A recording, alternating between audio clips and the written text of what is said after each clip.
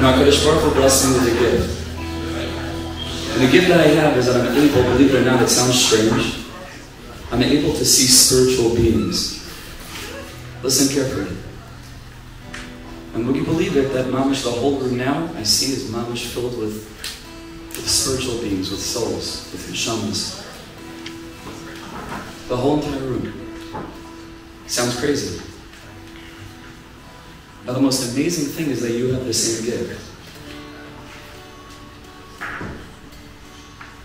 Because the neshamas that I see, you see. And it's the neshama sitting next to you, to your right and to your left. And it's all the souls that are sitting on all these chairs, at all these desks. Mamish spiritual beings, not people, souls, neshamas.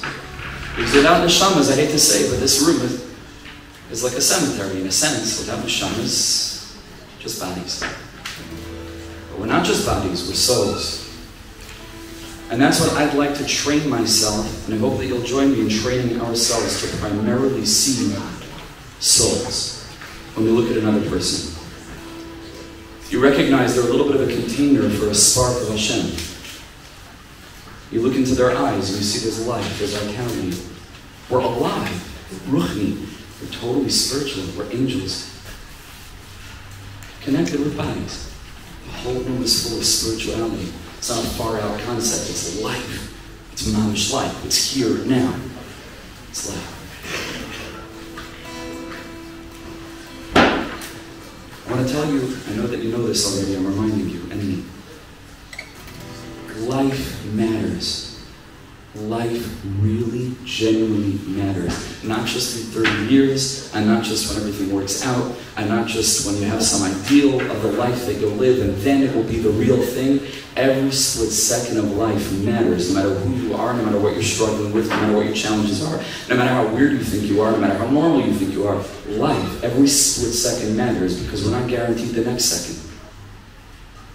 So Mamela, if I'm not guaranteed that I'm going to take the next breath, and the breath that I'm taking now matters a whole lot. I'll call neshima neshima ta'alukach, as I'll say. Every breath we take, we have to use that for a reason. We were sent here on a mission. We're not just happened to be alive in 2023 from Orthodox Jews because our parents were, and they were because their grandparents were, and so on. No. Trans-historical mission, each and every one of us. We were given a gift and we're asked to pass it forward.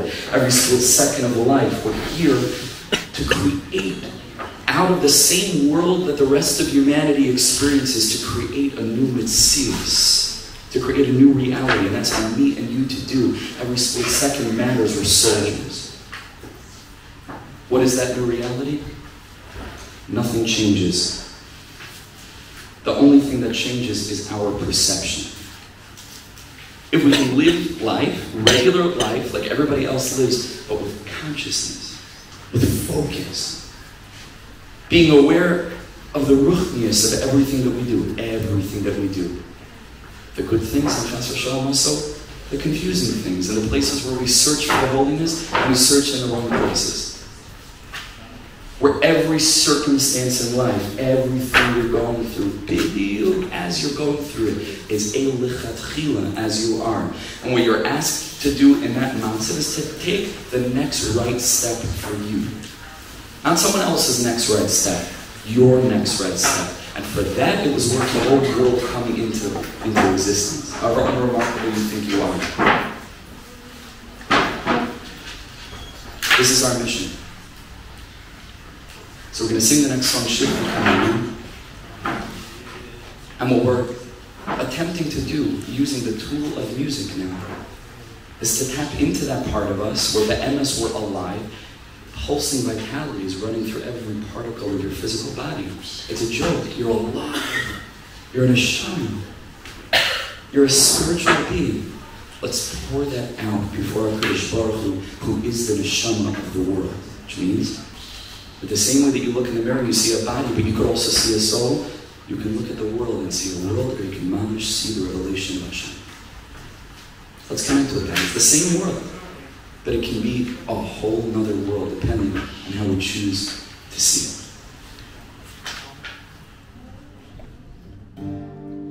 Me